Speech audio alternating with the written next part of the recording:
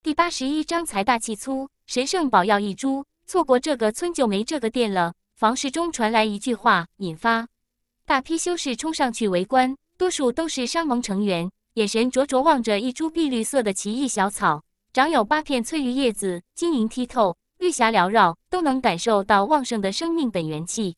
这是什么宝药？好浓郁的生命本源气，但是我觉得和神圣宝药还有些差距。宝药通灵，自主内敛生命精华，有些时候观之不透。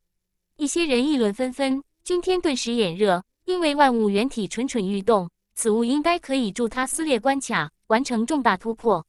我说店主，你有些不地道了。老六费了九牛二虎之力挤了进去，肥大的身躯像是一座肉山，挡住了众人视线。满脸的横肉，一看就不是善茬。老六上来劈头盖脸指着老摊主道：“这分明是八叶碧玉原草，少去的一片叶子被你吃了不成？”老摊主老脸微红，嚷嚷着：“虽然不是九叶碧玉原草，但也是难得的奇珍异宝。你买回去花个几年时间，完全能孕育到神圣宝药领域。你说的比唱的好听，要孕育出神圣宝药，有很大概率失败。另外，什么几年？”没有数百年的积累，怎么可能孕育成功？老六信心十足，劈头盖脸上来一顿训，七嘴八舌说了一大堆，嘴巴像是炮仗一样噼里啪啦的。他将八叶碧玉原草贬低的一无是，不知道的还以为是灵药大师来了。附近的围观者顿时大失所望，骂咧咧的离去。老摊主顿时急眼了，不过眼前的大胖子不好惹，膀大腰粗的，满脸横肉乱颤，特别还跟着一位虎背熊腰的黑脸巨汉。正攥着铁拳，凶神恶煞望着自己，气场足足的。我也不和你磨蹭了。十金灵胎石，我勉强收了。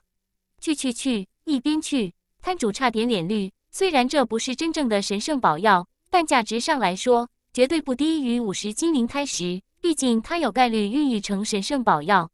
老六满嘴唾沫星子，嗓子都快哑了，才将价钱砍到四十金。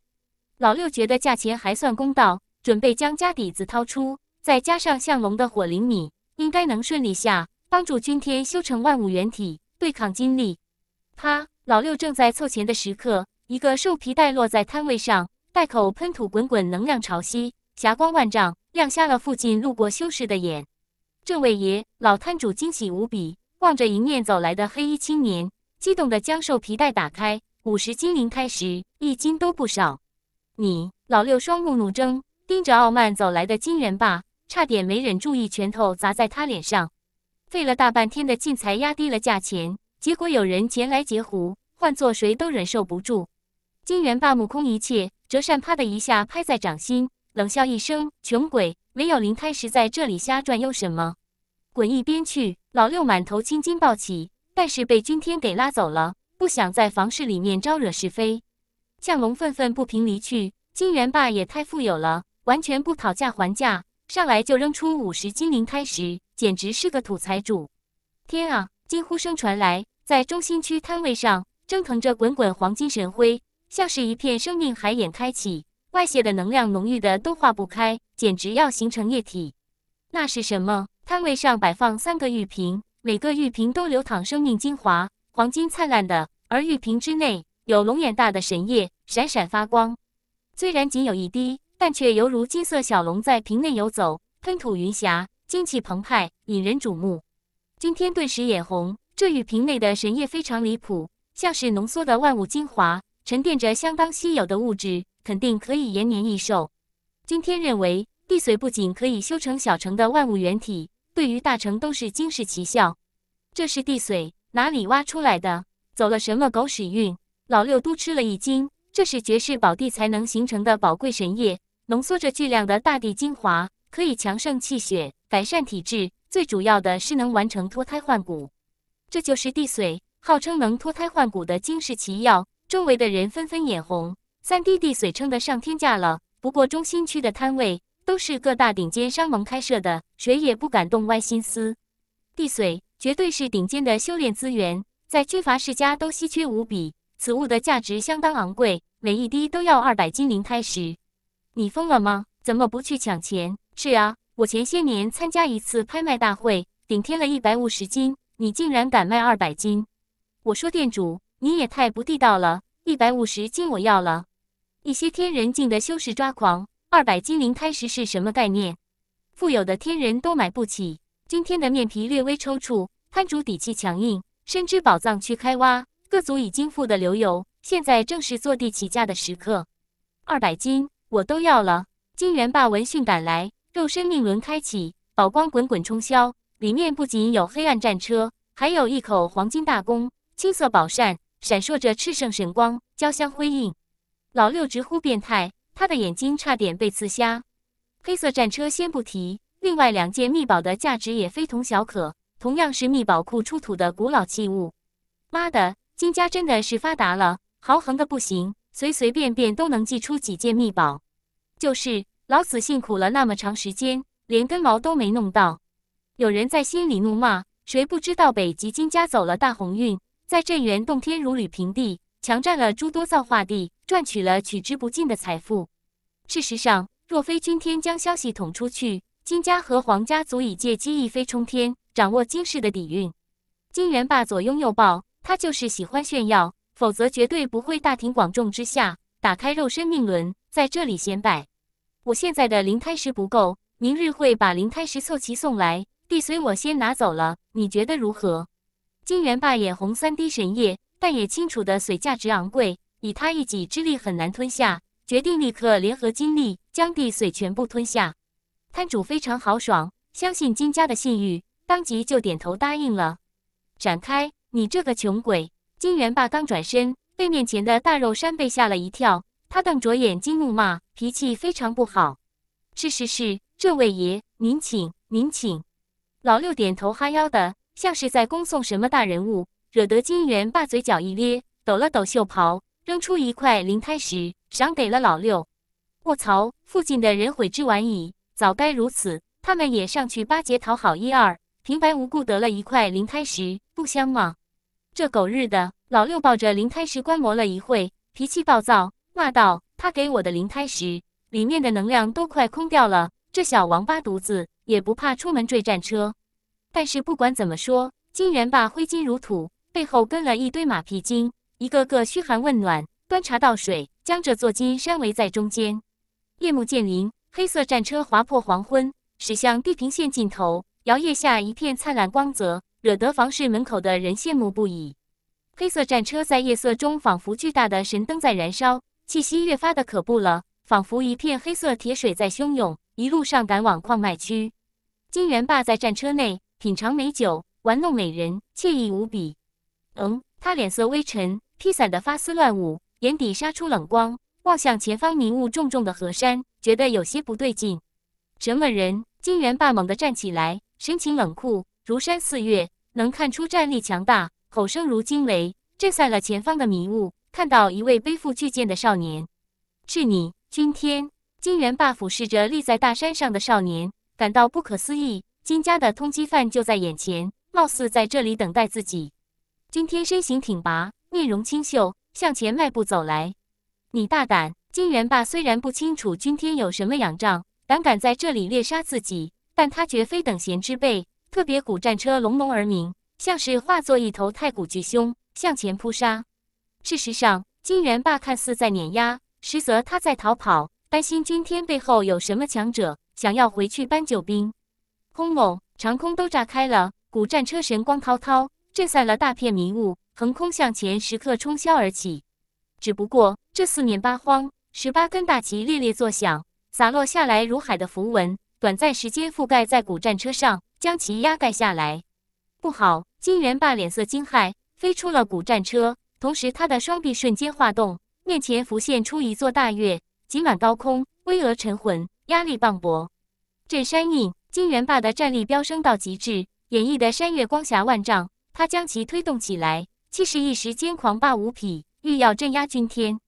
咚！君天迈步向前，踏在长空，发出沉闷的音节。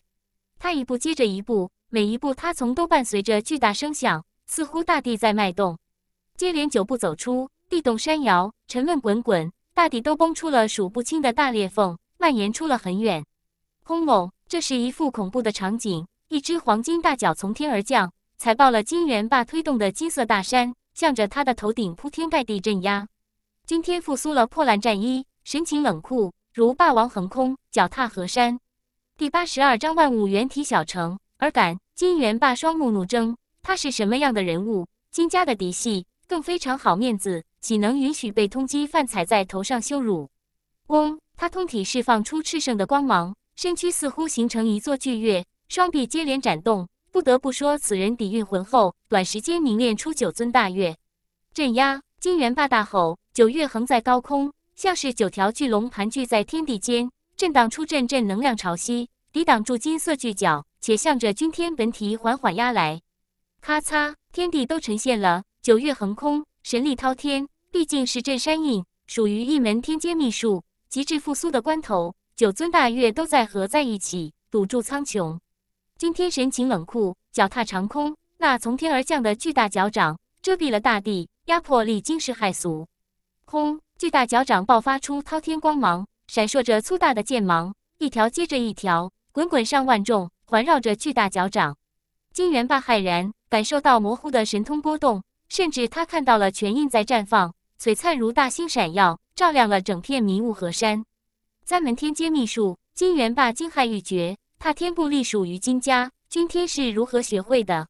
三大秘术同时间演绎，虽然没有金霄的绝代霸气，但也神威荡漾，宏大如渊般笼罩这片小世界。老六暗暗惊叹，君天的悟性太吓人了。三大秘术合一，都能打出小半神威。当然，君天的修行太弱了，因为神通圣法，唯有大人物才能发挥出应有的威能。九座大月簌簌摇动，险些反压下来，震在金元霸的身上。但他终究不是等闲之辈，命轮觉醒，体质燃烧，活生生阻挡了镇压。你不行！君天的双目大睁，肉身命轮全面开启，战力狂飙，金色巨角仿佛化作无上的金色炼狱。画出可怕的痕迹，轰隆一下子震碎了九座大月。啊！一声惨叫，金元霸的天灵盖被踩得皲裂，留下成片的鲜血，连同脖子都要断开，脑瓜子嗡嗡的，满脸都是鲜血，触目惊心。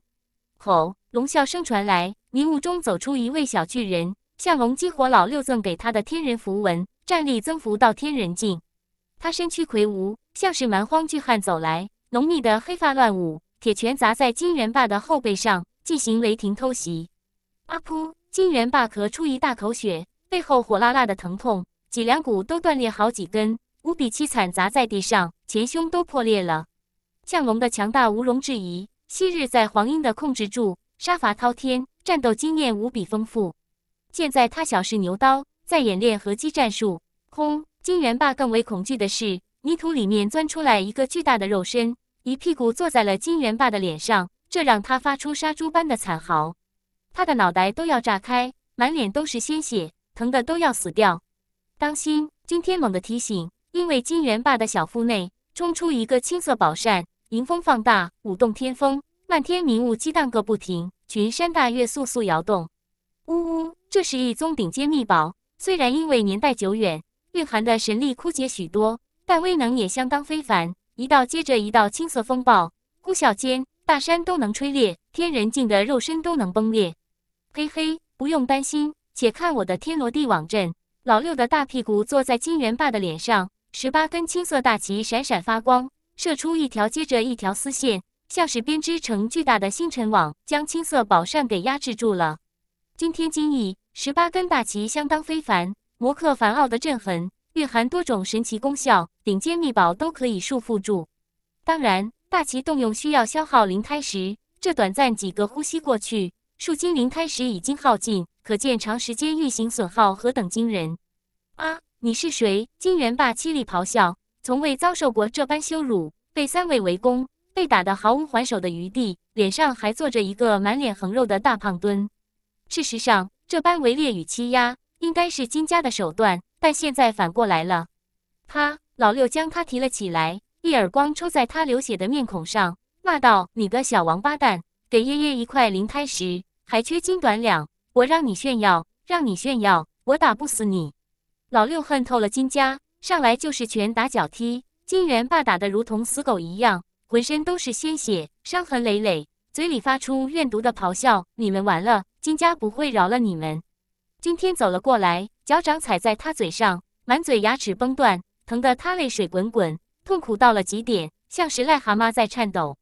给我说，天平起源台的位置在哪里？君天冷漠的话语让金元霸毛骨悚然，他感到难以置信。君天怎么会知道他们发现了起源台？这秘密在金家唯有很少的一批人了解。他突然想到了宝藏区秘密泄露之事，内心填满了恐惧。如果真的被君天暗中查出位置，恐怕第二天会举世皆知。他面容狰狞，非常硬气，瞪着君天，什么都不愿意说。杰杰老六露出恶魔般的笑容，漫不经心取出一枚接着一枚黑色的铁钉，每一枚黑铁钉都有惊天的煞气，滚滚浓烈，像是定死过恶鬼。君天都觉得神魂冷飕飕的，要在石海内坠落。啊！金元霸的头皮都炸开了，恐惧到了极点。这是非常歹毒的器物神魂钉，如果钉在人的神魂上，能体会到什么才是生不如死，人间炼狱。不。金元霸的神魂咆哮，他害怕到了极点，一五一十将事情交代清楚。他根本并不清楚天阶起源台的位置，因为未曾参与过探索。但是他说出姓名，金力参与过。金力是金家的奇才，战力霸绝，被金宵委以重任，否则没有资格在矿脉区享受取之不尽的灵胎石，冲关第七次脱胎换骨。什么？金力已经完成了四次，如果这一次成功，就完成了五次。老六感到头大，金元霸不过完成两次脱胎换骨，如此说来，金力比他可怕数倍，这让君天都感受到了压力。不过他觉得万物元体小成，再配合破烂战衣，加上模糊的神通秘法，应该有与之资格一战。咔嚓，老六咬断了金元霸的脖子，灭掉了他的神魂，将他肉身命轮中的好货全部抖了出来，满地都是宝光，五颜六色蒸腾，璀璨夺目，太富有了。不愧是金家的嫡系，他身上竟然有六株灵药，品质都是上品。这次真的是发财了。降龙紧握着金色公胎，喜不自胜。以他的臂力，完全能拉到满月，爆发出粗大的神虹，对天人境构成威胁。三滴龙髓，他们每人一滴，这可是脱胎换骨的宝药，对修士的成长太重要。轰！今天抽飞战车内的利人，他抓向古战车，抹掉上面的印记，心神与战车沟通。感受到古老的威能，冥冥中可以听到大道妙音。古战车缩小，化作拇指大，落在掌心中。做完这一切，他们收走十八根阵旗，逃之夭夭。三日后，在距离金家矿脉较远的区域，原始山林的深处，震荡出恐怖气流，茫茫林海都在摇颤，数不清的叶子都被震裂。炽热的身影盘坐在深处，宝相庄严，肉壳黄金，毛孔喷吐万物起源波动。投射出一片模糊的壮丽河山，轰隆！今天彻底爆发了，跨越到神藏境七重天领域，浑身辐射冲霄神光，继而洒落下来，遮蔽了这片山林，化作神圣的金色国度。万物元体小城，君天身影飘在半空，身躯流淌炫灿金辉，像是形成了万法不侵之光，环绕肉身运转。他全身光芒炽烈，有种难以正视的威严，英姿勃发，气吞河山。咚！降龙已经问鼎神藏境巅峰，力大无穷。蛟龙盘身，轰出一拳，但触碰到君天肉身环绕的光华，仿佛落在恢宏的大地上，探寻不到尽头，似乎距离君天很遥远。降龙大吃一惊，这是什么防御力？他的权益如同泥牛入海，唯有全力爆发才能临近君天。老六眼神怪异，君天掌握的好似是某种惊天动地的体术，身躯如同浓缩的河山。肉壳被万法不侵的光泽笼罩住。今天清楚，万物元体大成，内蕴一方小世界，仿佛一片星空般宏大辽阔。战力不够强，很难击中它。万物元体囊括宇宙万物，汇拢机体，大成领域。骨骼如山，血液如河，脏腑如月，皮肉如深空，可见惊人层次。当然，这一关很难修成，天人境才有资格展开修行。第八十三章攻打矿区。君天盘坐在地下洞府中，认真检查肉身，发现万物原体是小成了，但底蕴整合为一体，肉身更像是无底洞。事实上，君天的体质已经进化为万物原体了。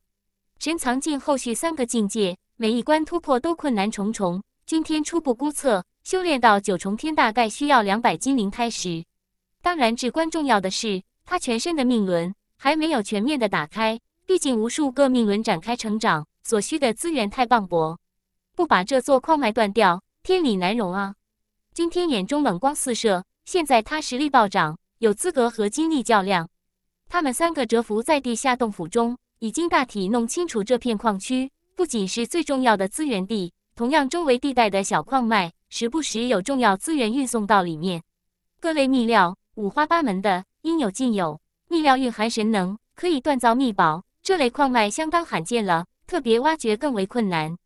按照我以往的经验，用不了多长时间，金家会有元老将里面的宝藏押送。运到金家族地中，我们可要抓紧时间了。老六整日坐立不安，他们在等一个机会，等待混入矿脉区的时机。强攻肯定行不通，这里面的守卫一旦将消息传出去，不仅有性命危险，未来也极难再攻下这片矿脉。来了，他们来了。这一天的深夜，正在远处巡逻的向龙风跑到地下洞府中，挥手招呼他们道：“快，金家来了一辆战车，仅有一位天人压阵。”哈哈，终于等到了！他们迅速冲了进去，远远看到一辆青铜战车驶来，上面还插着金家的大旗，威风凛凛的，没人胆敢截停该族的秘宝战车。什么人？战车之上，一位天人目光很冷，望着前方拦路的蛮荒巨汉，怒道：“眼睛瞎了不成？没看到是金家的战车吗？马上给我滚走！”降龙背负公胎，像是在演练神剑术，巨型公胎拉开肩，神虹澎湃。天地摇颤，画出一道金色痕迹，像是闪电射向天人。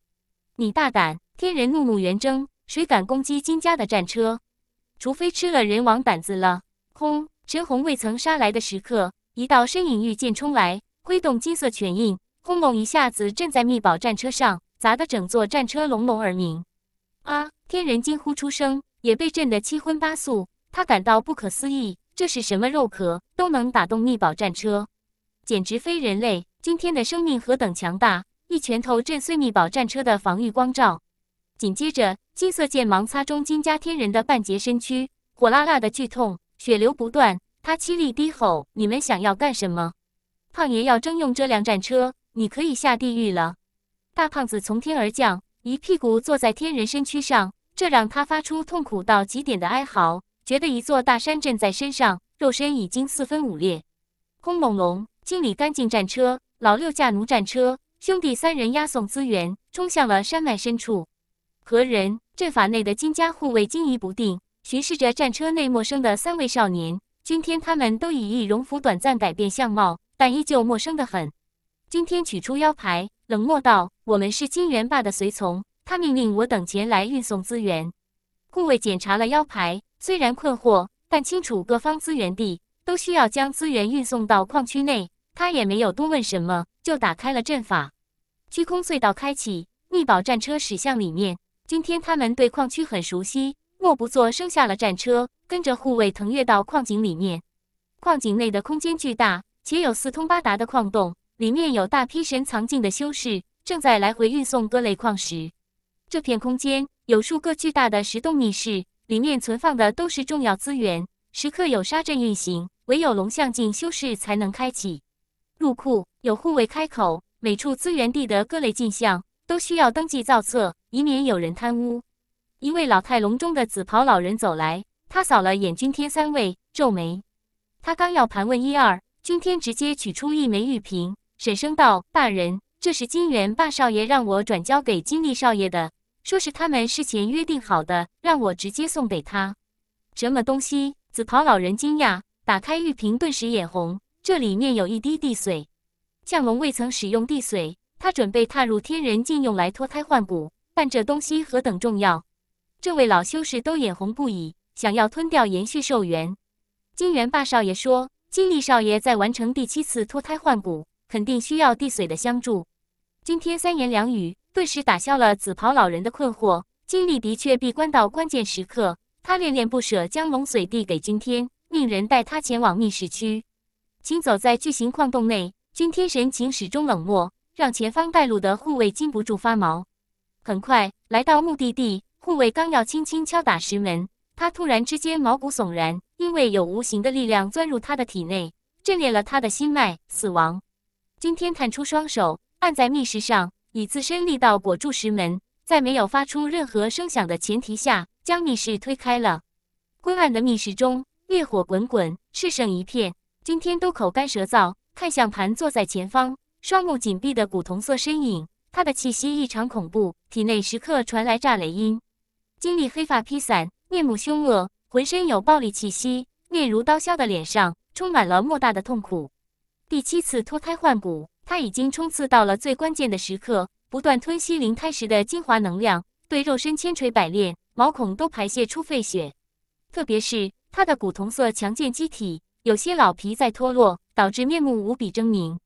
局势着地面上的碎骨头，君天心情沉重。面前的男子非常强大，一代复苏，堪称可怕的巨兽，战力凶狂到极点。完成八次脱胎换骨更为离谱。君天在心里暗语：经历不过是第五次而已，以前都是简单的蜕皮，谈不上完整的脱胎换骨。若能每一次完成，体质飙升，命轮长大，战斗力相当的凶悍。今天关闭了密室门，他小心翼翼接近，一步接着一步，每一步迈出都没有声音。同时，君天储藏肉身精华，如同冰冷的铁块在前进。目前距离精力已经不足三步之内了，他有把握再进一步，以最可怕的战斗力将金力给生撕了。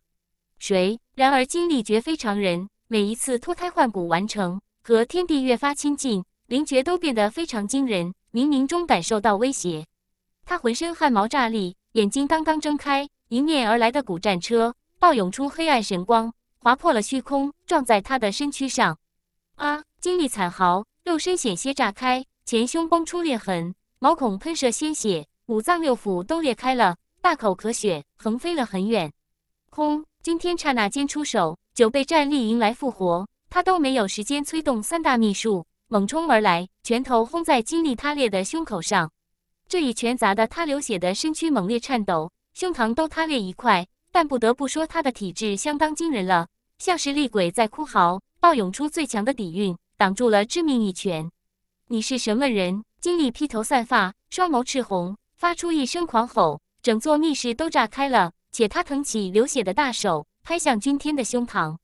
杀！君天大吼，满身符箓闪闪发光，形成防御光罩。同时，他举拳向前轰杀。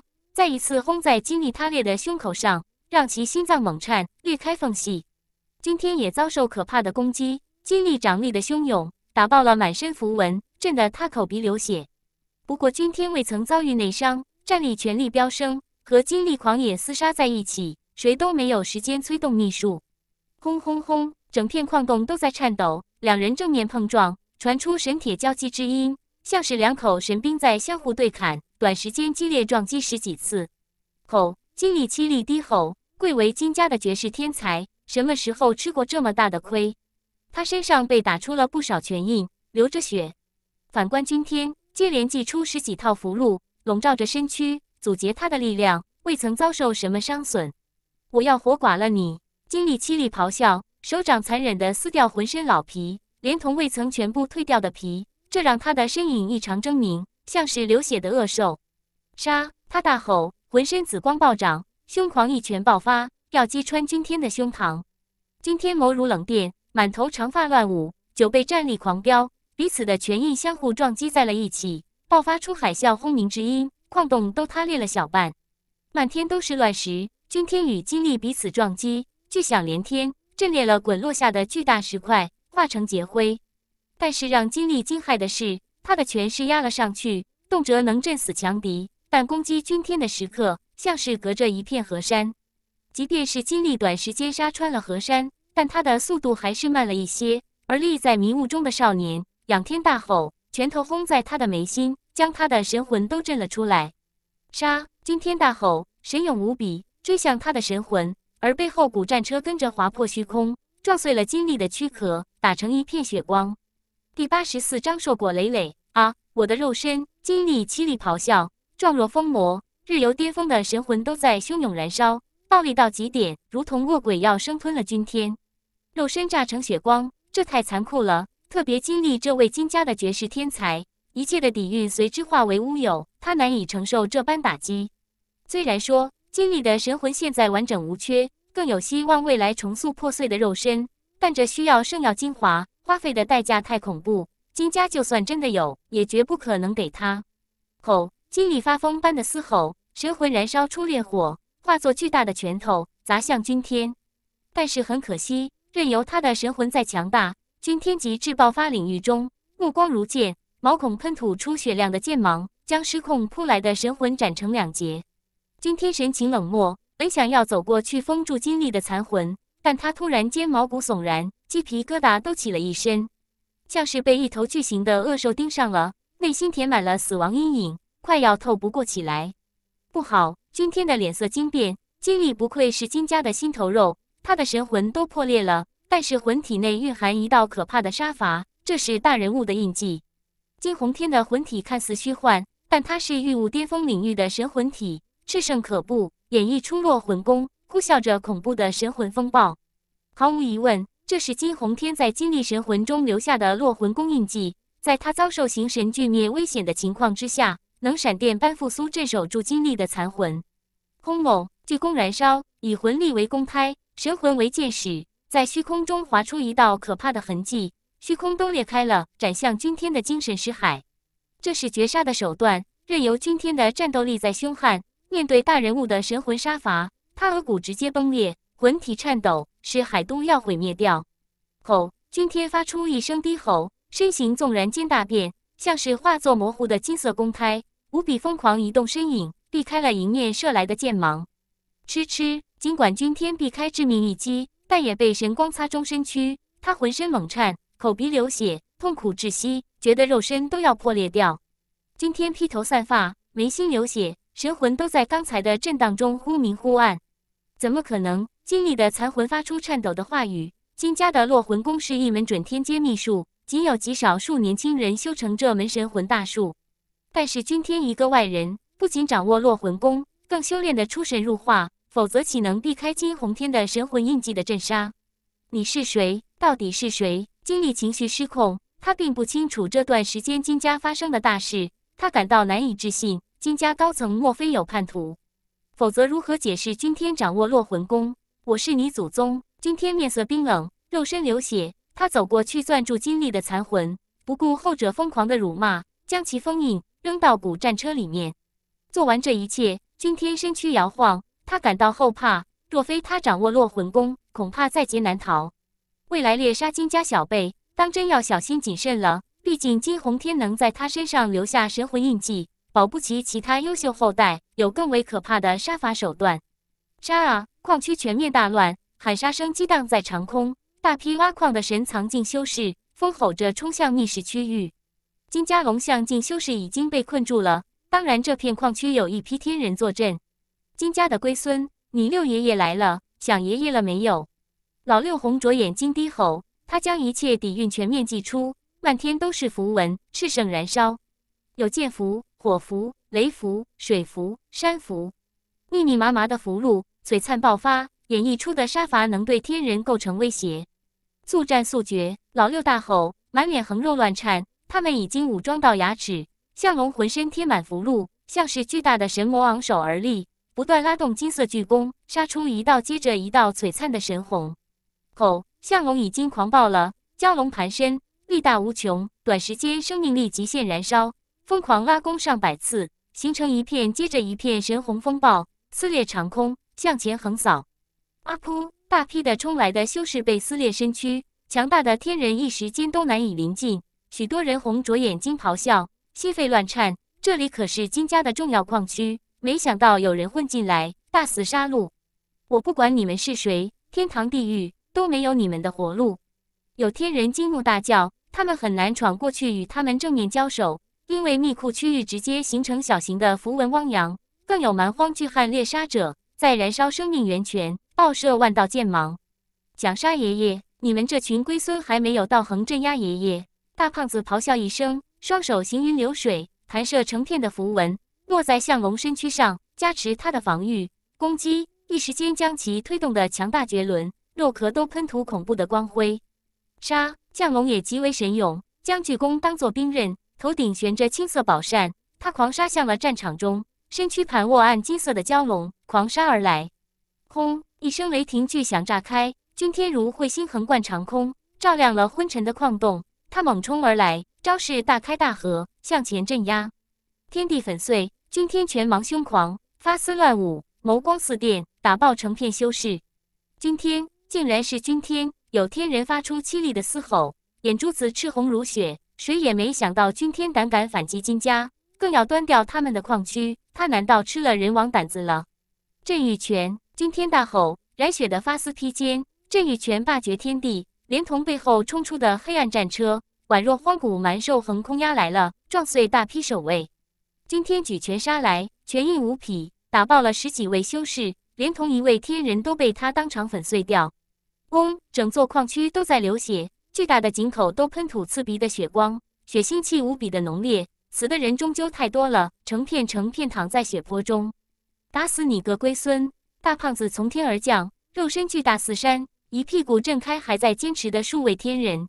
地面都沉陷了。老六像是力大无穷的猛男，震得他们飞向远方，像是被铁山给击中身躯，脊梁骨都断开了，躺在血泊中抽搐。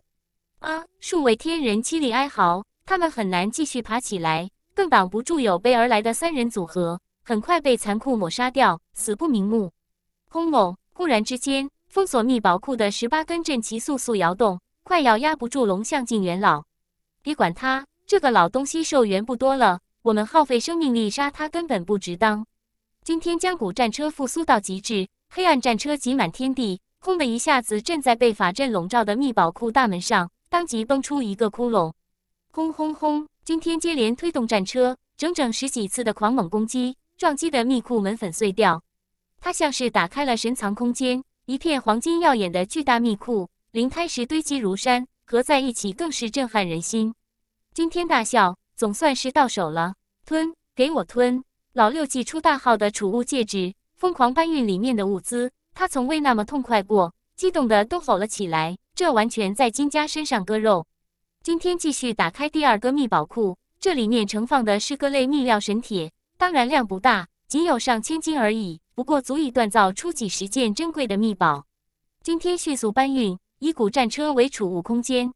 降龙在不断摸索天人修士的尸体，他已经弄到上百斤灵胎石、数件秘宝，还有部分灵药，收获很大。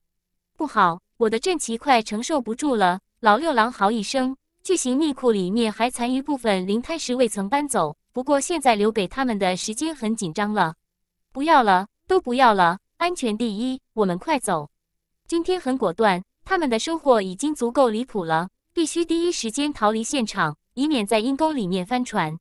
妈的，便宜金家了！不过爷爷吃肉怎么说也得给龟孙们留口汤喝。老六自我安慰，他大袖一甩，十八根大旗消失在密库中。被困住的老修士咆哮着杀出，他老脸狰狞。当看到满地的尸骸以及空空荡荡的秘宝库，眼睛一黑，硬生生瘫痪在血泊中。死了，都死了，一个活着的都没有。甚至秘宝库里面就剩下部分灵胎石，其余的都被搬走了。怎么会这样？到底是谁干的？老修士悲愤的都要昏过去，衣袖卷走余下的灵胎石，咆哮着：“什么都没了。”一根毛都没有剩下，何人如此恶毒？要和我们金家开战吗？但是很快，老修士头皮发麻，精力陨落了，肉身被打爆，已经形神俱灭。金家损失了一位绝世天才，这是难以弥补的重大损失。第八十五章轰动天下，镇元洞天之外，各大势力强者盘踞，亦有洞天福地高人盘坐在虚空，老一辈强者云集于此，气氛略显压抑。虽然洞天福地开启的时间不长，但时不时传来的消息让各族强者纷纷叹为观止。出土的稀世资源数不胜数，听起来都觉得目不暇接。什么神圣宝药，什么秘宝库，什么重宝，什么矿脉区，什么藏经阁。每每想到这些，老一辈的捶胸顿足，暗恨时不待我，早生了五百年。一片超级遗迹，封存状态堪称完美，奇珍异宝频繁出土。一些年轻人已经崭露头角，但因为今宵这位霸主级的天骄，各方英杰黯然失色，沦为绿叶陪衬。至今还没有起源台的消息。当年北极全面被冰封，起源台应该自主沉眠了，隐藏在某一地。是啊，镇元洞天保存完整，起源台绝对还在里面，可怎么就找不到踪影？起源台是举世最关心的事，天阶起源台可以自主形成一方圣土空间。没有任何军阀不眼红，即便是个大洞天福地的强者，都心动不已。金鸿天暗暗冷笑一声，我很抱歉，起源台早就被我族儿郎定位到了，与你们无关，别整天瞎惦记了，做不切合实际的幻想。金鸿天似乎从丧子之痛走出，脸上带着如沐春风的笑容。他觉得用不了数月，金家就能彻底掌握住起源台，并且将其带回家族。如若一切真的顺利的话，金家的底蕴会瞬间恐怖十倍。但不知道为何，每当金鸿天想到族群未来的辉煌大时代，内心总是不由得飘出一个影子，一个双手执掌巨剑、活劈金元的神藏少年，一个宝藏区对他们挥手告别的吞侠少年。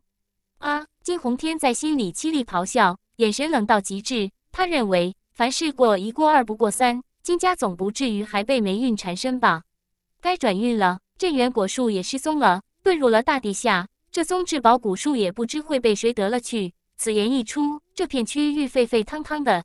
镇元果树堪称东神州十大顶尖圣药之一，而三枚镇元果更是举世难求的仙珍至宝。那毕竟是圣药精华，任何生命枯竭的老修士都能恢复到巅峰，更能借机开辟道家灵胎，当之无愧绝顶圣药。依我看，起源台应该在镇元洞天的主洞天之内。有人发出这样的言论：主洞天是什么？乃是一个洞天圣地最核心的区域。传说镇元洞天的主洞天。乃是一种大道圣宝，价值无与伦比，属于镇元洞天的最强神兵。主洞天称得上洞天仙府，举世没有任何强者不眼红。即便是个大洞天福地的洞天之主，打破头都想要得到。但问题是，镇元洞天想要炼化，这基本上没有任何的希望。它毕竟承载镇元洞天的传承，更是核心洞天，曾经断然有历代前贤日夜祭炼，打下了很可怕的印记。那么，唯有得到镇元洞天的至强传承镇天印，才有希望得到洞天仙府。金鸿天的脸色阴冷，骨头像是在被刀刮，皮肉似乎被生撕。他心痛到难以呼吸。昔日若非他托大，让金家儿郎镇压君天，他亲子不仅不会死。五大天阶秘术现在已经得到了。如此来论的话，得到了五大秘术，那么起源台、镇元洞天、镇天印。镇元洞天三大传承都被他们得到，镇元果树还算问题吗？当然是唾手可得。一旦掌握主洞天，到时候他们完全可以封印整座镇元洞天，让这里成为金家的祖地，重现万古的辉煌。轰！突然之间，金鸿天肉身摇动，大脑眩晕，差点从虚空中栽下来。周围的大人物纷纷变色，什么情况？现在的金家终究太耀眼了，而金鸿天是金家的主事者之一。又是金宵的叔父，目前各方正在拼命拉拢，想和金家攀上关系。现在的金宵战力滔天，他有很大的概率继承镇元洞天的传承。未来的金家或许真的能一飞冲天了。金鸿天嘴角溢血，神魂不稳，非常难受。怎么会这样？神魂受损，说明其中一道印记被灭掉了。那么金家很可能陨落一位重要成员。他真的有些恐惧了。重要成员。皆是战力惊世的种子奇才，未来是要被族群委以重任的顶尖力量啊！陨落任何一位都是不可承受的伤痛。到底是谁陨落了？金鸿天老脸难看，一时间想不通。老洪，出了什么事？黄天雄问道。虽然两族合作失败，但在之前的合作谈判中，皇家得到部分灵胎石的矿脉地点，收获端是惊人。小事，没什么。金鸿天摆手，因为脑海里闪过起源台。他的状态瞬间好转，未来有了金氏底蕴，什么样的奇才培养不出来？金家这是发什么疯？镇元洞天深处，一些修士被惊住，大批大批金家战队放弃一片片刚打下来的地盘，像是疯了一样赶往外围区域。沿途中引起的动静太大了，一批批战队汇合在一起，仿若黑色汪洋在咆哮，震天动地，引发了热议。即便是外围的房市区域。里面的修士心惊肉跳，远远望去，在地平线尽头，杀光滔天，震动了天穹，阵容太大了！啊！接连有吼声传来，传遍数百里地，吼得大地摇动，山岳轰鸣，世人不清楚遭受了什么样的损失，如同疯掉了。难道金鸿天又死了儿子？整整一夜都不得平静。金家调来精锐力量，一群元老怒发冲冠，眼角都快崩出了血，损失很大。虽然谈不上沉重，但问题是有人胆敢攻打金家的矿脉，这不是在老虎屁股上拔毛？到底哪个龟孙干的啊？天啊！金家的矿区被洗劫了，金历被斩杀了。谁干的？这也太疯狂了！金元刚陨落才多久，金历又被斩掉？金家接连折了两位绝世天才，金家的胆子真够大的。矿脉区仅有一位龙象境镇守，不是胆子大，由我看，金家想要一口气吃成大胖子。他们攻占的资源地太多了，根本没有过多的人手看管。消息宛若飓风般轰动天下，各大势力都惊骇欲绝，洗劫矿区，这得需要多大的勇气去面临金家的盛怒？同样，这件事触碰到了各族的神经线。矿脉区是重要资源区，储藏大量灵胎石，但凡发出一丝意外，都白忙活了。外围区域激荡着肃杀气，金家真的是炸裂了。他们虽然收获恐怖，但是那片矿脉区不同，最起码有三千斤灵胎石，再加上各类秘宝材料，损失无比沉重。据说是一位符箓大师干的，消息已经传到房室里，但目前难以锁定身份。就算金家开出滔天悬赏，也无处可查。说不说，在遥远的火山区封闭的火山之内，老六挥着皮鞭，正在严刑拷打金历，想要弄清楚起源台的位置。他已经拷问了三天三夜，嗓子都冒烟了，但是金历的骨头太硬了，什么都不愿意说。轰！火山内精气如海蔓延，一旦放开封印，精气足以形成大龙贯穿霄汉，形成一副奇景。君天盘坐在灵胎石堆里，引动无量的精华能量。源源不断洗礼肉壳，即便他的身躯如同无底洞，但在如此强盛的能量灌注之下，全身命轮璀璨炽热，宛若群星囊括在肉身内，降龙都咂舌。君天已经用掉了五百斤灵胎石，这是天文数目，以前他们想都不敢想，而老六更没想到，君天不过是神藏境，竟然能消耗这些资源，简直堪称是吞金兽。轰隆，吞金兽的修行动静太大了。体内传递出山崩海啸巨响，肉身似乎储藏一片金色汪洋，荡漾着可怕的生命精气。每一个命轮都在扩张，但开辟消耗的资源太庞大，堪称无数个吞金兽在啃食灵胎时。无数个命轮如同一片黑洞在夺取能量，内部沉淀着金色生命精气，宛若神泉汩汩而涌。特别是这些命轮诞生了异象，似乎化作模糊的山川，蒸腾着万物起源奥妙。每个命轮都似乎独特的小天地，这是什么怪物？经历都发出恐惧的吼声，望着修行的吞金兽，君天正在缓慢复苏，如同沉睡的至尊在转醒，让他控制不住在颤栗。这是什么潜能？君天浑身毛孔，形似无数个命轮在燃烧，爆涌出璀璨光华，似乎形成万法不侵的光芒，环绕在君天的机体上，将其衬托得宛若仙王转世。他通体光芒万丈。刺得人眼睛都睁不开。当一系列命轮齐刷刷震颤起来，恍惚间化作一位黄金战神，傲视天穹，俯瞰苍茫大地。怎么可能？金力恐惧发抖，信念彻底被击垮了。这真的是神藏境？他感受到了无可匹敌的威压，像是金色彗星压在面前，太压抑了。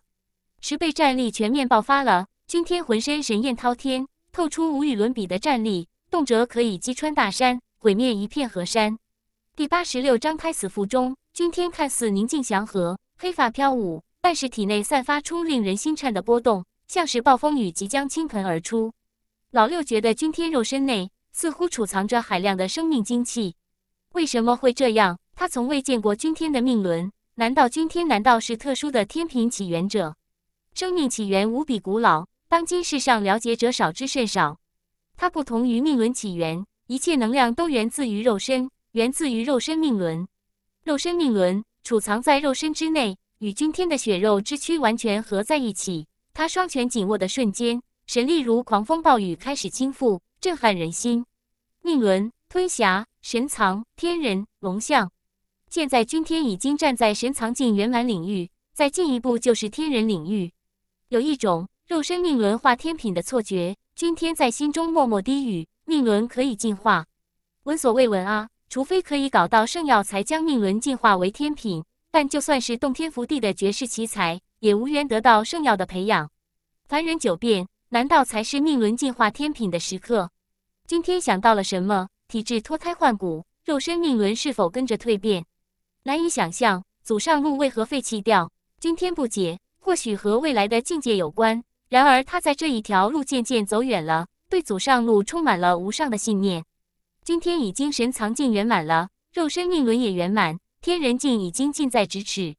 咔嚓，君天挥动一柄通灵兵器，斩在手腕上，他的机体自主复活，全身命轮闪烁神光，透出的反震力震裂了顶尖通灵兵器。不可能，金立宁愿相信君天是天人，也绝不相信他站在神藏境领域。这种潜能真的让他感到绝望。普天之下，谁与争锋？老六惊叹，更担心金立被吓死。他怀疑君天的肉身比王者霸体还要强盛，而王者霸体已经是举世无双的天赋，毫不逊色顶尖的天平起源者，比这类体质还要强大。他实在想不通，君天到底是如何修行的。老六发现金立变得浑浑噩噩的，心理防线全无。他猛地贴在脑门上一张黄色符箓，使海的神魂壮大。金立，告诉爷爷，天阶起源台在哪里？大胖子眼神可怕，冷悠悠的。攻入金立的精神石海内，虽然金立仅仅迟疑了一下，但精神却闪现而出，呈现出一片画面。哈哈哈！老六猛地一拍大腿，虽然仅是一片地形图，但这并不难找，很快他们就能定位到目标，谋划更大的事。你这个恶棍！金立残魂颤栗，活生生气得炸开了。他实在不愿意想象天机起源台传出去，金家高层集体脸绿的画面。总算是搞清楚了。接下来闭关修行，君天盘坐下来研读起源经。降龙一直在闭关了，他以地水助力，配合大量的灵胎石精华能量，准备完成一次脱胎换骨，跨越到天人境。当当，火山中时而传来打铁声。老六以宝鼎熔炼一大堆秘宝材料，取出一口银色大锤，敲敲打打，开始炼制秘宝符箓。以锤炼秘宝的秘料制作的符箓，等同于秘宝在短时间毁灭性爆发，杀伤力极强。当当，每一锤落下，似乎都敲死一个金家天才。不得不说，老六的动力太强大了，他的人生仅剩下复仇。至于他掌握的祖传经文，上面罗列的上万符箓的制作办法，里面的秘宝符箓不是最顶尖的，大道符箓才是核心篇章。大道符箓能镇杀大人物，当然要炼制太困难，需要锤炼重宝的神才。就算这些都具备，以老六现在的道行也做不到。时间一天接着一天过去，转眼间快十日了。外围区域依旧不平静，金家在到处搜捕真凶，核查身份不明的修士，闹得怨声载道的。不管是君天还是福禄大师，已经被列为金家的头等通缉犯。又是数日过去，各族暗暗奇怪的是，矿脉区被劫是天大的事，金宵竟然没有做出任何回应。各方难安，金宵已经消失了，莫非查到了起源台的所在地？查。倾尽一切密查，各路军阀的掌权者不是善类，已经调动隐蔽力量，对起源台势在必得。各大洞天福地为何高高在上，可以囊尽世间奇英才？还不是因为他们有天阶起源台，特别有底蕴深厚的圣地，掌握两座天阶起源台。吼！这一日，火山传来一声巨大的龙啸，震耳发聩。沉睡的象龙转醒，浑身噼里啪啦作响，老皮碎肉。废血残骨脱落了一大堆，暗金色血脉迎来觉醒，化作巨大的暗金铠甲，笼罩着象龙，将他衬托的仿佛神魔般高大。哈哈哈！今天他们大笑。向龙身怀特殊血脉，一旦完成脱胎换骨，血统断然激发出神秘物质，改善体质。血脉传承，向龙发出激动的话语。他在血脉中捕捉到经文残片。老六心惊，向龙的祖上曾经肯定走出过大人物。或许是绝顶强者，或许在漫长的岁月中，向龙祖上的血脉出现了断层，而这一代走出的向龙天赋异禀，故此激发出血脉传承。向龙又闭关了三五日，根基更为浑厚了，强大如野龙盘横。蛮妖经，向龙梳理出经文内容，但觉得这篇经文能以蛟龙九变称之。这是什么经书？今天没有听说过。然而向龙言称。蛮妖经的极高，不是天人根本无法修行。今天吃了一惊，天人境才能修行。就像龙说，这篇经文非常的逆天，更专注于血脉。嗡嗡，老六收获相当惊人，他炼制出十张秘宝符箓，闪烁宝辉，透着毁灭波动，多数是攻击类型的。今天抓起一枚银色符箓，婴儿拳头大的小剑，一旦复苏化作银色剑胎，交织符文光泽，可以跨越虚空斩敌。另外还有遁天符箓，一旦启用，就能横渡万里之遥。老六的眼睛布满血丝，已经疲累到极点，还是无比兴奋道：“可惜秘料耗尽了，虽然才制作出十张，不过我现在的制作经验大大提高嘛。未来只要有足够的秘料，就可以源源不断制炼制秘宝符箓。怪不得强族诞生那么多天才，资源真的是太重要了。”降龙感触很深，他消耗了百斤灵胎石，再加上一滴地髓，才完成一次完整的脱胎换骨。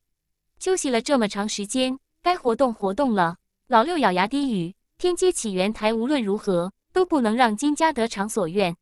我出去打探打探消息。今天离开火山区，前往房市区域。金宵的失踪让君天寝食难安，看来计划要提升日程。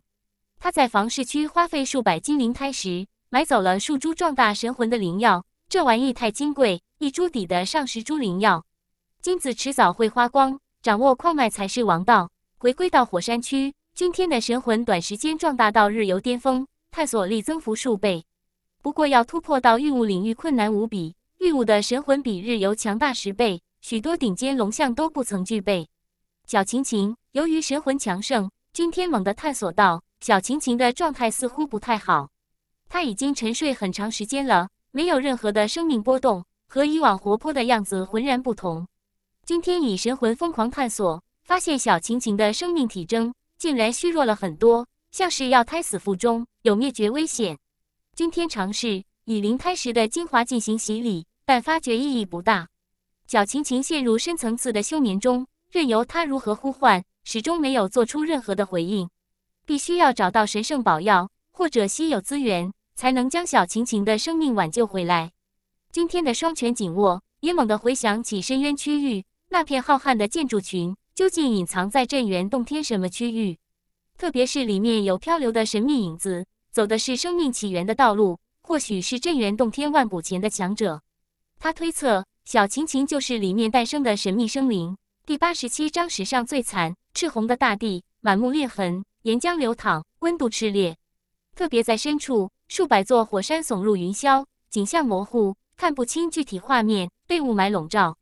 脚步声传来，远方的天地，茫茫烈火世界中，三个身影若隐若现，但却非常引人瞩目，因为他们三位的造型太过容易记忆了：肉山般的大胖子，黑发浓密的蛮荒巨汉，背负巨剑的少年。三人行，即便他们走在岩浆爆发的区域，都如履平地。现在他们正在向着外围区域走来。元老，火山深处走出来三位探险者，看实力应该不弱。火山区之外。有金家元老坐镇在这里，虽然长时间没有发现真凶的踪迹，但碍于金家的颜面受损，不得不大批出动，以此威慑各方。金家元老盘坐在黑色辇车里，身披五色神衣，神情冷漠。他闭着眼睛，语气淡漠道：“叫过来审问一二，你们三个快过来。”得到元老准许，其中一位身穿紫袍的年轻人背负双手，他对着君天他们三个招了招手。像是在呼唤自家奴才，神情傲慢。当然，根本不用紫袍青年招呼，一行三人已经向着他们走来。怎么慢吞吞的？动作快点，跑步前进！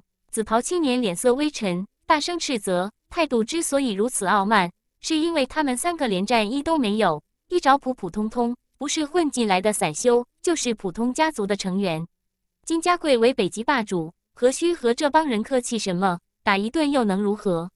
你在叫我吗？今天身形挺拔，清秀的面孔，满嘴牙齿雪白，露出灿烂的微笑。他一袭黑色长袍，步履沉稳，来到紫袍青年的近前，一双清澈透亮的眼眸巡视这位不可一世的金家天人。君天摇头，不过一个普通的天人，至于其他的都是神藏境的修士，不足为虑。当然，闭着眼睛坐在辇车中的老者，气血旺盛。他虽然是高龄的龙象，但这些日子被大量的灵胎石洗礼，已经恢复到鼎盛状态。不是叫你还能是谁？你在这里瞎看什么？紫袍脸色很冷，觉得今天的目光有些肆无忌惮了，似乎对自己很不敬。他的眼底射出神芒，冷冽道：“姓名、年纪、出身，全部都背诵出来，不要耽搁我们金家的宝贵时间。”话音刚落，紫袍青年一脸的傲慢，特意摇了摇手中的战旗。飘动的金色旗面上有相当醒目的金字。哦，原来是金家。君天掏了掏耳朵，一副欠揍的模样，围绕着紫袍青年转悠，上下巡视，眼神越发的肆无忌惮。你在看什么？紫袍青年勃然大怒，抽出背负的长剑，觉得这小子欠收拾。别对我大呼小叫！君天摇头道：“金家的天人实力马马虎虎还说得过去，当然你还不够资格和我对话。去把金霄给老子叫来！”你说什么？紫袍青年愣了愣，他都觉得听错了，一脸的惊异，盯着君天愕然道：“你，你刚才说什么？什么不够资格？还金霄圣子什么？”附近金家的成员都满头雾水，他们也都觉得听错了。毕竟谁敢和金家成员如此对话？还让他们把金霄叫来，这是吃了人王胆子了。金霄早就杀出了绝世凶威，就算是洞天福地的年轻英杰，在金霄面前大气都不敢喘。区区三个野人算什么？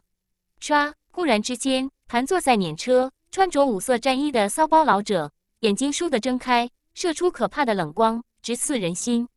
他听得一清二楚，内心窜出滔天怒意，冷眸望向君天的时刻，面目表情顿时精彩无比。你骚包老者的手指着君天，躯体都在细微的颤抖。他认出了少年的面貌，正是金家的头号通缉犯君天。他内心不由得腾起惊天狂喜，身躯都在发颤，险些吼出声。我说你没有资格和我对话。君天的话还没有说完。紫袍青年气得要炸开，直接抬起长剑扫向君天的面孔。然而他的动作却无比的缓慢，身躯像是被山岳给压制住了，满身气血颤栗，五脏六腑都要裂开。啊！紫袍青年痛苦惨叫，因为面前的少年太炽盛，像是沉睡的巨凶在缓慢转醒，身躯朦胧着万法不侵的光泽，黄金灿烂。君天虽然神情平静，但浑身环绕着万缕神霞，将其衬托的强大凶猛。不好！一群金家修士脸色大变，君天通体的光辉越发的耀眼了，伴随着无与伦比的压力，让他们颤栗，肉身都要解体。他们感到恐惧，这是什么样的底蕴？缓慢复苏让他们都难以承受。如果战力全开，足以横扫全场。老六啧啧称奇，和吞金兽叫板，普通的天人完全不够被他碾压。君天在缓慢复苏，举手抬足间透着强大威压，肉身沉睡的能量爆发间。可以翻江倒海，这片区域都在隆隆作响。轰！君天通体神力贯穿霄汉，淹没了这片区域，气血滔滔，像是怒海在翻腾，伴随着沉闷如雷的声响。角城领域的万物原体何等霸道！君天又神藏圆满，肉身命轮圆满，这一系列的底蕴复活，将完成三次蜕皮的紫袍天人，硬生生镇压的跪在地上。啊！紫袍青年悲狂惨叫。难以承受君天体内由内而外的能量压制，更觉得是耻辱。但是他很难爬起来，越是挣扎，身躯越是崩出裂痕，肉身随时都会解体。君天，遭包老者吼了起来，通体神光如瀑，惊得周围金家弟子都在颤栗。竟然是这个杀神！但是现在的君天未免太可强大。轰隆！遭炮老者浑身气血滚滚，脑后命轮笼罩机体，像是一轮紫日高悬。不过，这辆碾车被一层银色的光幕覆盖住，闪烁着密密麻麻的符箓，交织成一座银色的巨山，压在碾车之上。逆宝镇山符能短暂制衡龙象境修士，压制他体内神力。当然，骚包老者的境界不到家，这如果换作是徐庆他们，体内能量稍稍复苏，就可以震裂镇山符。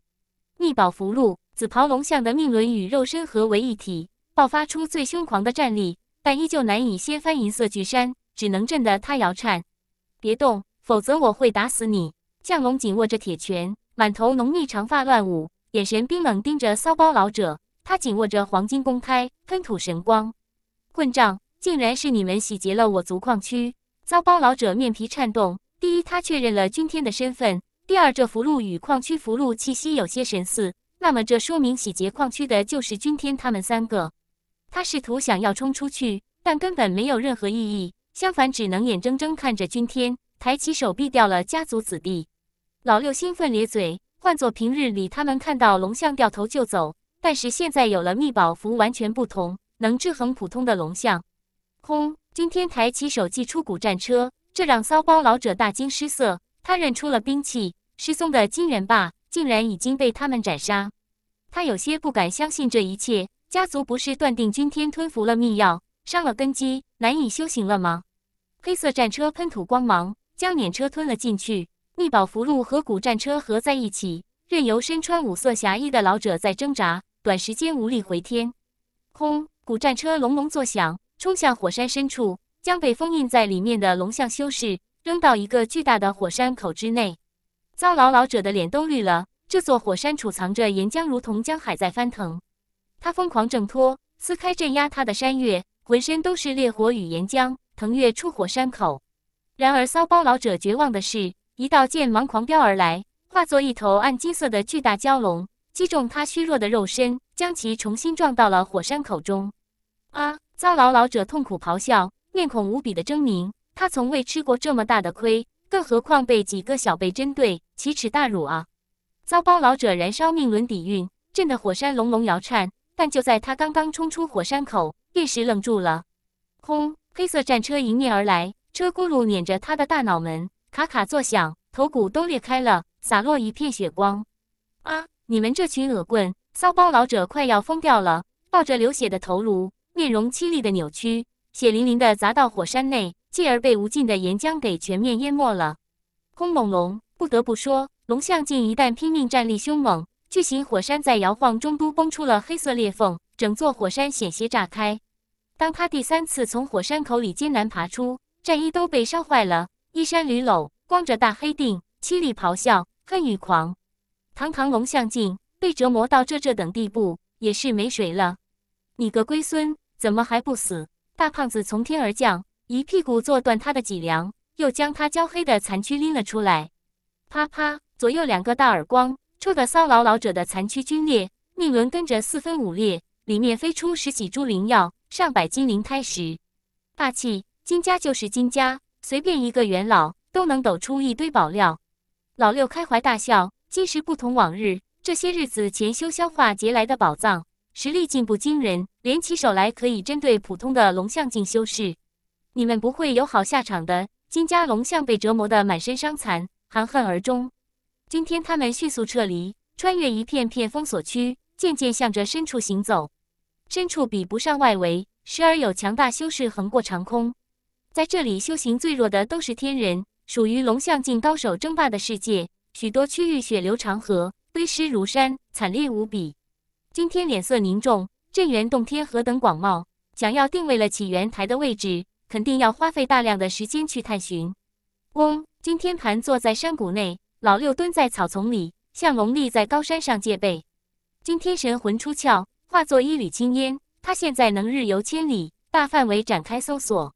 时间一天接着一天过去，转眼间快十日了。起源台所在地依旧探寻不到，反倒是挖出来一些灵物。老六的脸色不好看，耽误的时间越长，变数就越大。他们没有休息过，轮番上阵，然而始终一无所获，这就非常恼火了。今天都快沉不住气了，两个小娘们，老六猛地一激灵，激动的眼睛都红了，低吼道：“是金灵和金玉，快抄家伙，将他们活捉了！快！”第八十八章天阶起源台。这片云雾缭绕的山脉，时不时有金家护卫出入，但是在山脉的深处，雾气很大，隐隐荡漾而出，磅礴而又伟岸的生命波动，像是巨大的古兽沉睡在山脉深处，很长时间完成一次吐纳循环。星空隐隐暗淡，天地有些昏沉，花草树木都有些枯萎。今天面色凝重，他们昨日就留意到这里了。这座山脉太大了，各地都隐藏金家护卫，很难通行。纵然是老六的神秘古镜，能量波动难以延伸到山脉的深处，但从这片区域的格局来看，里面极有可能是古矿区。事实上，古矿区给君天毛骨悚然的感觉，觉得自身的生命都能被矿区给吞掉。矿区神秘，也似乎具备生命，时而呼吸，抽走无量的天地精华，进纳到古矿区之内，滋补内部孕育的奇珍异宝。这矿区太可怕了，像是巨大的生命体在修行，里面保不齐孕育出了大道秘料。今天他们眼红不已，但内心都清楚，攻打这片古矿区，完全是痴人说梦。特别是他们注意到内部冲出的资源战车，有数位顶尖的龙象修士镇守，神情冷酷。他们根本就截不下来。此时此刻，大雾弥漫的山脉深处，两位绝色丽人走出。他们无论走在那里都是焦点，一个清纯动人，一个娇艳似火。这对双胞胎姐妹花的战力相当惊人，连起手来都能和龙象镜激烈厮杀。特别君天洞吸到他们的气息，隐隐捕捉到模糊的龙象威能，一定要拿下他们！老六满脸横肉乱颤，低语道：“他们都是金家的奇才，如果双双破关完毕，联起手来可了不得，抵得上顶尖龙象。再者说，以后他们的后代血统很是强大啊，可不能便宜金霄这孙子。”向龙不由得咧嘴：“顶尖龙象何等恐怖，比普通的龙象可怕十几倍。一旦发起狂，他们三个会被瞬杀。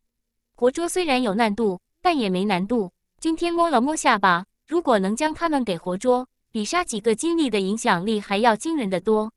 今天远远尾随，很快发现金灵和金玉停了下来。姐妹站在一座高峰上，裙带飘动，衣袂飘舞，有种非凡的高贵气质。这里虽然距离金家矿脉很较近，但如果他们全力出手，短时间应该能解决战斗，带着女奴回归秘府。不对，今天皱眉，他进入天人合一的状态，感知力飙升一大截。陡然间发现一道非常强大的波动，在向着金灵和金玉靠近。那是什么？老六都吃了一惊。远方似乎飘来一片星河，流淌星辰光辉，美丽的如同真实的星空。不知道的还以为是秘宝在运行。随着临近，他们这才发现是一个美丽身影，体态婀娜，肤若凝脂，有远离红尘的出尘气质，像是跨出洞天圣地的天之娇女。女子清丽脱俗，穿着银色衣裙。金辉点点，闪烁着星河光泽，仿佛漫天星河神沙洒落在衣裙之上，熠熠生辉。我的亲娘，这是星河神沙制作的衣裙。大胖子的眼睛都瞪直了，道：“星河神沙乃是最顶级的重宝材料，那女子到底是什么人？未免也太财大气粗了。事实上，别说君天他们被镇住，金灵和金玉都满脸羡慕。星月洞天赫赫有名的星河战衣。”唯有出身尊贵的奇才方能拥有，是他今天拳头微握，是个熟人景子轩。他破入了龙象境，战力极为的恐怖，举手抬足间星河神芒流淌，如同立在星空下的星河贵女，气质不凡。景子轩是星月洞天大长老的后代，天赋超绝，体质强大。虽然不是天平起源者，但绝非等闲之辈能抗衡的。尼玛，多好的机会！老六愤愤不平。眼看着女奴要得手了，谁知碰到了洞天福地的传人。今天的脸色阴晴不定，向龙也立起了眸子。云溪是星月洞天的传承弟子，天品起源者，无论身份与地位都超过景子轩。景子轩既然来到了镇元洞天，肯定知晓金家在通缉君天。但从现在来看，三位女子彼此关系非常密切，有说有笑的，像是亲姐妹。今天不断提升感知力。想要探听他们说了些什么，只不过让君天心惊的是，景子轩微微蹙眉，他似乎察觉到了什么。今天不再继续探听了，一行三人藏在水潭里，默不作声，远远遥望。姐姐怎么了？金玉惊异，巡视四周，道：“有什么不对劲的吗？”没什么，是我感觉错了。金子轩略微迟疑，他拢了拢青丝，笑吟吟道：“金霄哥哥托我查的事。”我已经办完了，他人现在在什么地方？金霄哥哥在闭关，短时间内你恐怕看不到他。两姐妹目光微微闪动。景子轩前些日子就来了，而他们是私自以金霄的名号安排景子轩回归星月洞天一趟。景子轩对金霄非常痴迷，他自然不会有任何的犹豫，直接将有关祖上路的全部卷宗从藏经阁里面带了出来。事实上，金家高层对君天有些忌惮了。觉得他进步惊人，战力无比可怕。如果君天是一位天平起源者，又和金家有化不开的仇怨，他们会拼尽一切将其斩除，永绝后患。但是对于祖上路，金家了解的十分有限。现在通过这些卷宗，得知千年前东神州大人物的身份，更弄清楚当年炼废的数位天骄的来历。那些天骄来历惊人，几乎都是各路军阀的天之骄子。不可思议，连他们都炼废了。更何况是君天，我想家族不需要为他的未来而感到操心。一个永远都成长不起来的废物，确实不要担心。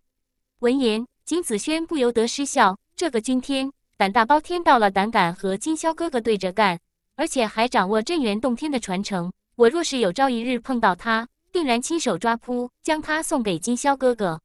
景子轩承认云溪天赋绝顶，修行速度无比惊人，但是君天不同。一个未来的废物也和金家交恶，索性不如斩草除根，以免影响到未来金家和星月洞天之间的和睦。此事劳烦姐姐了，还望姐姐为金家保密。金玉浅笑，小事而已，根本不算什么。况且现在也没人关注这些卷宗。金子轩不以为然。金灵妩媚一笑，依我看，姐姐还在古矿区做官数日，等我们将卷宗送到家族强者手里，估计金霄哥哥也出关了。如此甚好。金子轩笑了起来。这片古矿区属于天阶层次的，价值难以想象，当属于镇元洞天最强资源地。而长时间在里面闭关，他会得到莫大好处。金子轩飘然而去，金灵和金玉也御空远行。今天他们连忙追了上去，而老六有些震惊的是，他们未曾离开太远，身影消失在天地间。这是虚空阵法。老六心惊道：“金家竟然花费大代价，以虚空秘料在这里布下虚空阵法，难道我们要找的目的地就在这里？虚空阵法一旦开启。”原本的河山会消失得无影无踪，等同于开辟出一片内天地。这类阵法的造价非常昂贵，不管这里是不是，这里对金家肯定非常重要。今天眼战神芒道：“你的古镜能不能洞穿虚空阵？”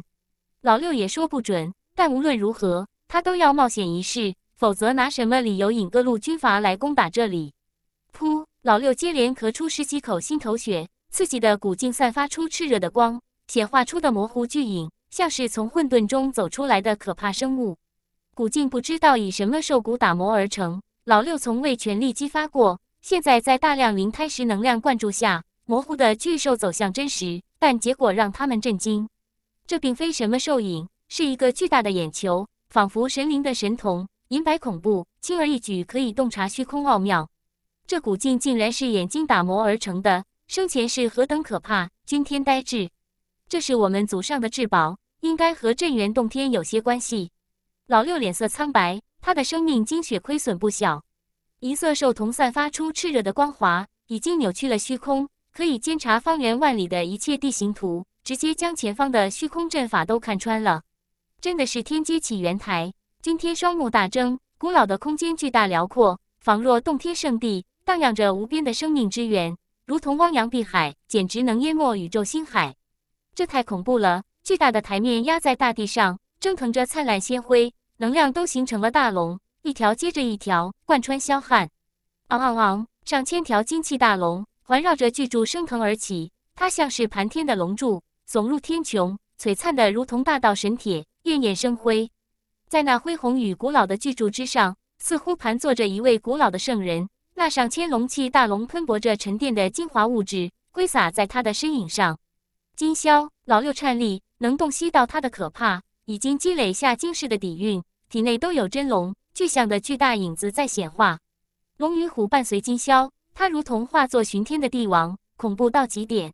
恍惚间，金霄的身影似乎消失了，刹那间变得伟岸无比。他似乎和起源台合为一体，享受镇元洞天无量岁月的积累，身影都变成大黑洞。第八十九章血光之灾，今天他们三个呆若木鸡。皆是被银色兽瞳呈现的画面给惊住了。什么是底蕴？这才是至强的底蕴，夺天地造化，演化出一方修行圣地。金家大批的青年才俊以及各路元老正在盘坐在台面上喷吐能量，他们都得到了惊人的洗礼，修行速度突飞猛进。老一辈的元老都恢复了年轻的生命，向着顶尖龙象层次不断成长。毫无疑问，这座起源台已经让金家的底蕴可怕十倍。如若再经历漫长时间的发展，可想而知，未来的金家绝非常人能够想象的。特别盘坐在顶端的金霄，如同俯视众生的黄金神王，能洞悉到他快要成功了。一旦身躯和起源台彻底合一，起源台就是他的了。轰隆！石台宏伟，蒸腾着大道仙辉，已经有元老在进行悟道，体内传出飘渺不定的大道之音。甚至今天看到了金元，他也盘坐在天穹之巅。在被无尽精气大龙洗礼，且以大量的地髓金元在进行第八次脱胎换骨，金元都在颤栗。虽然过程无比的痛苦，像是体质在断裂中重组，命轮在破裂中重塑，这让他已经兴奋到了极点。传说中的成就就这样达成了，八次脱胎换骨堪称举世无双的奇才。至于第九次脱胎换骨，那才是真正的天人极境。然而，纵观东神州万年历史，能做到这？扳扳手指头都能数得清，九次他不敢奢望，第八次已经足以正视了。噼里啪啦，老六双拳紧握，呼吸沉重，这还了得？今天脸色阴沉。如果真的让金家顺利得到起源台，未来金霄的崛起将会无人可挡。特别是金元已经积累了金世的底蕴，如果再得到镇元果呢？命轮但凡进化，未来的他就是第二个金霄圣子。这是什么概念？一个族群两位至强的人杰，足以让金家辉煌万载。保不齐真的有可能性重振镇元洞天。事实上，目前来说，各大区域已经出现了流言蜚语。金霄消失的时间已经很长了。若非发现了起源台，难道他还能在秘府冲关到嘉陵胎不成？目前为止，大人物都恨不得自斩到嘉陵胎，闯入宝藏区拼杀，争夺造化。谁会傻得现在突破？听说了吗？今天出现在外围防市区，拉着一位女修士白嫩的小手，神神秘秘道：“今宵在起源台上闭关，修行已经到了深不可测的领域。”你神经病吧？话还没有说完。女修士顿时觉得这话语非常耳熟，她扫了扫君天，脸色顿时古怪无比。这人似乎和昔日小镇上传消息的少年有些神似，特别他还清楚记得昔日这个少年如同疯子，到处胡说八道，闹出了不小的风波。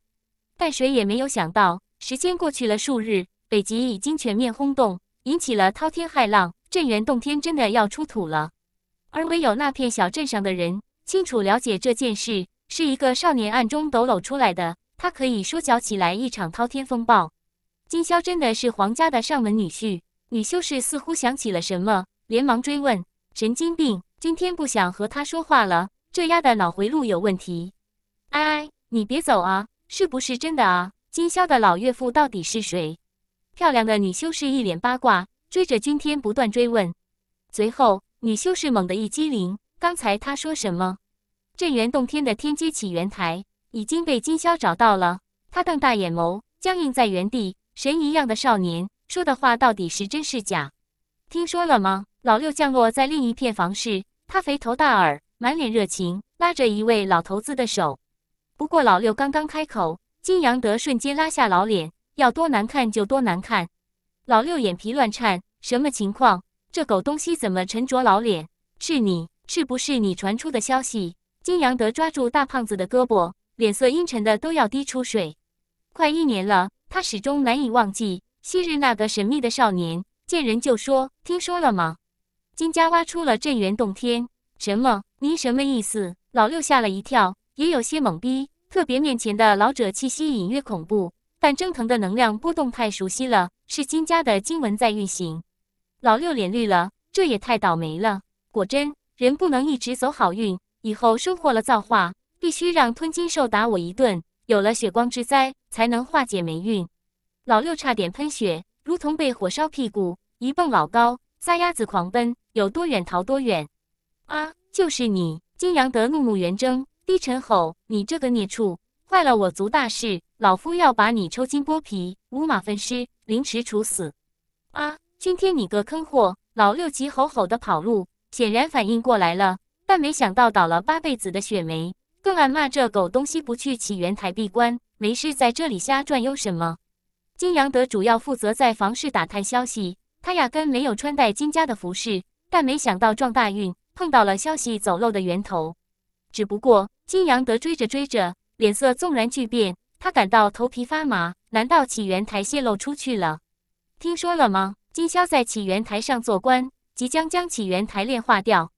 听说了吗？金霄已经收服了起源台，很快和他老岳父联手运送回归家族。听说了吗？金霄炼化起源台失败，寿命大损，时日不多。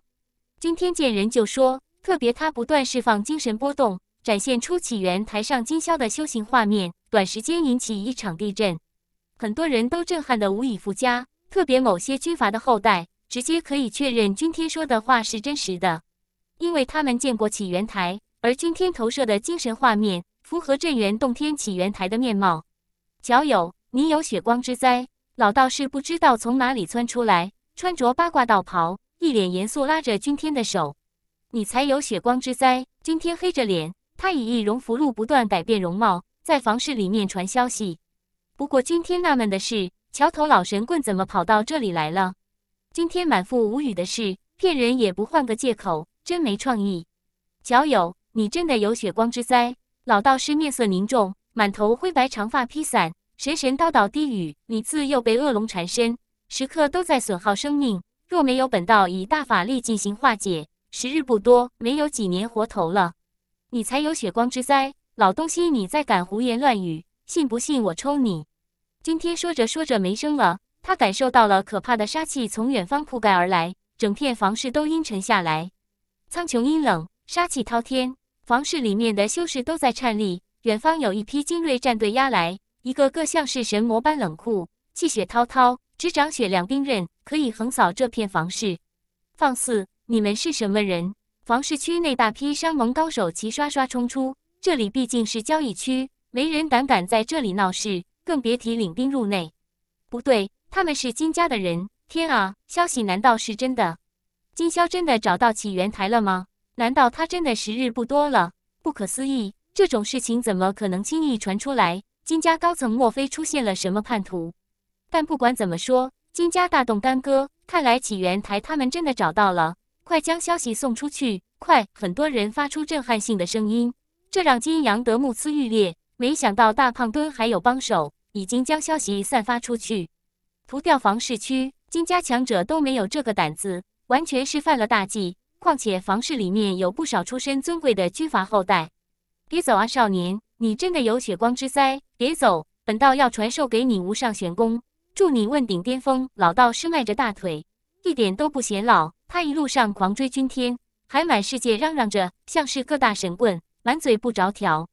你大爷的，算的还真准！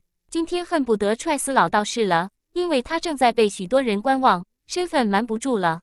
金阳德望向逃出房室的少年，双目绽放神光，运行一门强大的瞳术，很快洞悉了他的真实面貌。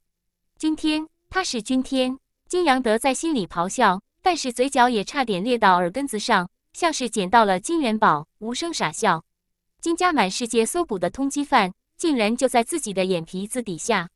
哈哈哈！他仰头狂笑，真的是踏破铁鞋无觅处，得来全不费工夫。杀！给我杀！不给我活捉他！千万不要损害他的神魂！金阳德低吼，镇压了君天两大天阶秘术倒手。起源台不是金家，也是金家的了。轰隆！成百上千的人马甲胄森冷，如同狂风暴雨，遮天蔽日，冲杀君天。刹那间，君天眉心冲出一辆古战车，在虚空中迅速放大。君天站在古战车里，向着远方大地展开横渡。但是他背后的敌人太多了。成片成片的压来，已经有杀伐风暴击中战车，减缓战车的横渡速度，全力追杀君天。少年，你真的有血光之灾！老道士眼疾手快，抱着黑暗战车的车轱辘，身躯在风中飘舞。他咧着大嘴，嚷嚷个不停。第九十章捅破天，杀啊！吼声滚滚，震耳欲聋。金家阵容强大，杀来的皆是精锐士兵，成片成片的都形成了超强风暴。遮天蔽日，喊杀声震天，大草原轰鸣，吼声都形成了音波，满地野草破裂，汹涌澎湃。轰隆！古战车爆发出炽盛的光幕，战车迅速放大，环绕着成片的防御符箓，源源不断阻挡碾压而来的雷霆风暴。君天立在战车内，果断复苏了破烂战衣。也不得不说，战衣提供给君天的秘力更强了。看来是随着他实力提升，战衣的威能可以进行增幅。那不是元霸财主的战车吗？怎么落在这位少年的手里？听说金元霸失踪很长时间了，难道他被半路上劫到了？哦，金元霸喜欢炫耀，就算被劫了也不算稀罕事。一些人在相互讨论，想起前些日子满世界炫耀的金元霸，对于这辆古战车记忆犹新。起源台出事的消息绝对是他传出来了，看来金家已经急眼了。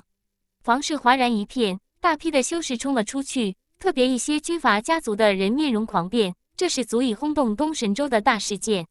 金家妄想独吞起源台，这谈何容易啊！房市里各大势力云集，更开设了交易摊位。就算金家想要灭掉这片房市区，也心也无力。现在只能眼睁睁看着他们离去，一定要活捉他！金阳德脸色阴冷，得到了完整的震天印，镇元洞天的一切都是他们的了。消息泄露又如何？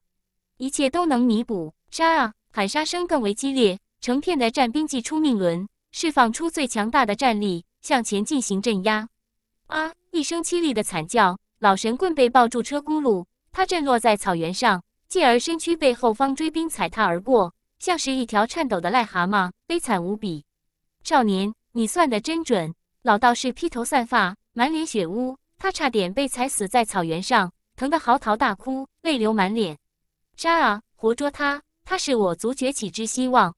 大军出征，寸草不生，一望无际的草原，任由古战车的速度再快。短时间内也难以横渡离去，已经有一批密宝在复苏，齐刷刷轰向古战车，覆盖战车的符文都解体了，战车被打得猛烈摇晃，也幸亏战车的材质坚硬，虽然未曾崩坏。今天被震得头昏眼花，他现在只能期盼着迅速离开大草原，以御剑术逃出升天。当然，今天掌握老六给他的遁天符，不过这枚符箓无比珍贵，不到关键时刻他不舍得启用。今天。你是逃不掉的。金阳德祭出一个古镜，射出万道金光，震得古战车险些砸在地上。轰！突然之间，远方大地蒸腾出一道璀璨的剑芒，撕裂云层，贯穿了苍穹。什么鬼？今天吓了一跳。突如其来的剑芒太过耀眼，如若斩向自身，密宝战车会直接解体，更能将他给活生生撕成粉碎。他顿时头大如斗，剑芒已经在爆发，竟然横贯了大草原。茫茫万丈，只不过却避开了军天，斩向后方铺天盖地追击他的金家战队。轰隆，巨响炸开，成片的士兵连惨叫声都没有发出，肉身破裂，被搅成粉碎，洒落下漫天的鲜血，染红了草原。不好！金阳德脸色狂变，因为暗中出手的强者正是前段时间猎杀金家元老的超级狩猎者。谁也没想到他再次出现，身影立在虚空中，模糊一片。但挥动的剑芒璀璨的，像是九天银河降落，辐射而来，形成了剑气汪洋。阿布，成片金家的战兵心生恐惧，他们如同豆腐般被可怕的剑气笼罩，似乎坠落中剑渊中，肉身破裂，无力抗争。即便有龙象境的修士，也难以阻挡如此犀利的剑芒，被震得大口咳血，砸在草原上，命轮都出现了裂痕。混账！金阳德双目血红。唯有位列龙象榜的顶尖高手，才有资格将其镇压。但金家的核心成员都在起源台上闭关，房室内的修士颤栗。什么人如此肆无忌惮的出手，完全不计后果，胆敢向金家挥动屠刀？金家这是走了什么霉运？矿区被劫走了，起源台又暴露了。哈哈，我看是金家没有足够强的族运，吞不下这等造化。这就叫做天意如此，天阶起源台都能泄露。估计金家高层都会集体吐血，难以想象未来的几天宝藏区会杀成什么样。滚滚的剑芒横断大草原，截住了金家精锐士兵。金阳德已经无力回天，只能眼睁睁看着君天消失在视线中。是徐庆导师，君天虽然已经逃出很远了，但是能隐晦感知到出手的人暗中在复苏镇玉剑。放眼北极大地，除了掌握镇玉剑的徐庆，谁还会站出来相帮？今天的心情无比复杂，曾经差点死在徐家的资源地，更被徐云松当做物品残忍卖给了金家。当时的君天真的感到绝望。君天叹了口气，徐庆刚才未曾传音告诉他身份，或许心怀愧疚。我又能恨你什么呢？古战车消失在草原的尽头，闯入原始山林中。他走了。宏伟与冰冷的虚空中，徐庆凝望着君天离去的备用。旁边的徐家老七叹了口气，后生可畏。难以想象他到底是怎么看清楚金霄在起源台上的修行画面的。事实上，若是没有老六的神秘古镜，想要攻下矿区或者弄清楚起源台的位置，等于痴人说梦。此役之后，金家肯定会不惜一切代价追扑君天。徐庆满脸的担忧，谁都没想到金霄真的发现了起源台。这也证明一件事：金霄对镇元洞天的了解超出世人的认知。今天以极快的速度远去。赶往汇合地点，他估摸着很快就会发生天大的事，故此他们远远离开这片区域，逃向更深处。但是君天始料未及的是，金家未曾做出任何的反应，甚至大批的人马蜂拥向镇元洞天的深处。这是要干什么？结果只有一个：金宵快要成功了。老六脸色难看，他能感知到偌大的镇元洞天，气氛变得无比的压抑，这是狂风暴雨来临前的征兆。该做的我们都做了，接下来就听天由命吧。今天脸色凝重，金家不可能坐以待毙，也绝不会轻轻松松让出起源台。这毕竟能改变他们族群的未来。这一战如同打赢了，金家肯定飞黄腾达，成为东神州炙手可热的超级势力。轰隆隆，夜幕降临，镇元洞天的外面非常不平静，有绝强的强者在复苏，气血都形成了巨龙，贯穿了天穹，淹没了大雪原，杀气如海在蔓延。因为这不是一位在暗中发威，一位接着一位绝顶强者身形模糊，像是盘坐在混沌中的古老神奇，眼神杀意刺骨，压得世人都在颤栗。天啊，这是要爆发超级大战吗？绝顶强者在复苏，这是要准备强行攻打镇元洞天吗？就算金霄已经炼化了起源台，各族绝不会轻松让他们运送出去。一些寿元干涸的老人物都心肝欲裂，事关最强资源。就算是族群间撕破脸，他们也不会让金家得偿所愿。举世才是多少天阶起源台，更何况是镇元洞天的起源台。金洪天头皮发麻，背后冷汗横流，快要承受不住。